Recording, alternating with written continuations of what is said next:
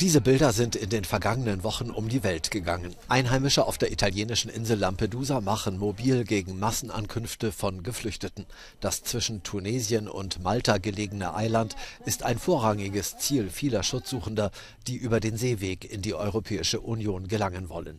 Aber die Inselbevölkerung hat mehrere Gesichter. La risposta degli lampedusani è stata di una solidarietà immediata che andava a rispondere alla alle necessità o almeno cercava di rispondere alle esigenze eh, delle persone che erano in giro appena arrivate costrette a stare in un ambiente come quello dell'hotspot o al di fuori anche dell'ambiente di quello dell'hotspot co- co- costituito da eh, situazioni materiali molto molto precarie. Die Emotionen verstärkten sich nach den Äußerungen des französischen Innenministers Gérald Damanin, der erklärte, dass keiner der Geflüchteten nach Frankreich gebracht werden würde. Experten bezweifeln die Umsetzbarkeit dieser einseitigen Entscheidung.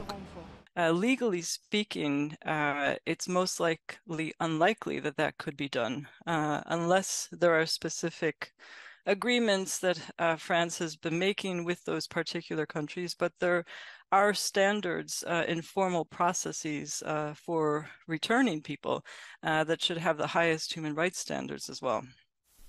Trotz allem sind die in Europa ankommenden Migrantinnen und Migranten nur ein kleiner Teil aller Menschen, die ihre Länder verlassen und längst nicht alle streben auf den alten Kontinent.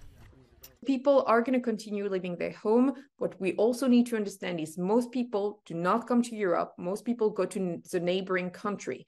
A few of them come to Europe. And so, what we need to think as European is how we better organize um, a system when people get to European shores so that we avoid the kind of you know political crisis, constant political crisis um, that we keep seeing.